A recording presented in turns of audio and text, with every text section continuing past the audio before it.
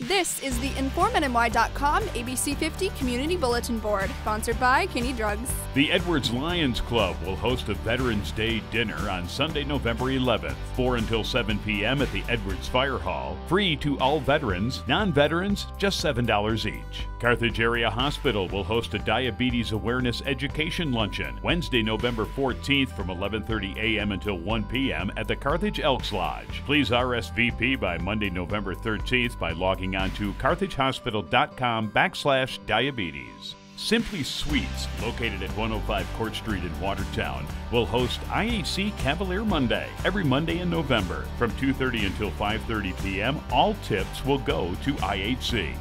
Submit your event at least two weeks in advance to ABC 50 Plaza, 105 Court Street, Watertown, New York 13601, or by fax at 315 785 0127. The ABC 50 Community Bulletin Board, sponsored by Kinney Drugs.